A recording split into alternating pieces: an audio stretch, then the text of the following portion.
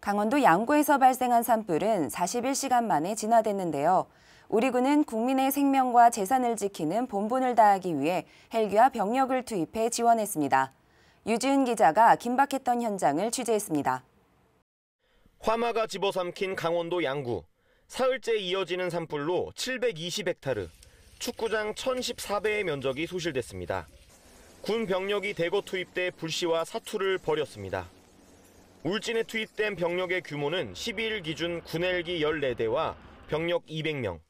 바람이 거세고 건조한 날씨에 불씨가 계속 이동하면서 작전이 어려웠지만 장병들은 안전에 유의하며 산불 진화 완료에 큰 기여를 했습니다.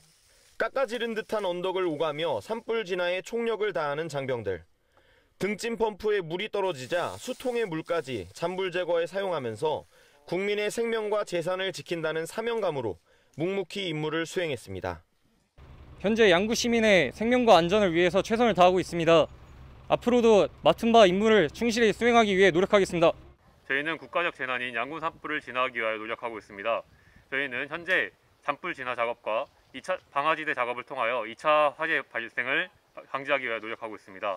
또한 저희는 민, 관, 군 그리고 경위, 소방이 합동하여 양군 산불을 자, 진화하고 있습니다. 최대한 빠르게 진화를 하여 국민들이 안전하고 행복한 삶을 살 수 있도록 노력하겠습니다. 41시간 동안 이어진 산불은 완전히 진화됐지만 우리 군은 앞으로도 지역 주민의 아픔을 함께하고 산불 피해 복구에 최선을 다한다는 방침입니다. 육군 21사단 장병들은 국민의 생명과 안전을 지킨다는 사명감으로 산불 진화에 총력을 다하고 있습니다.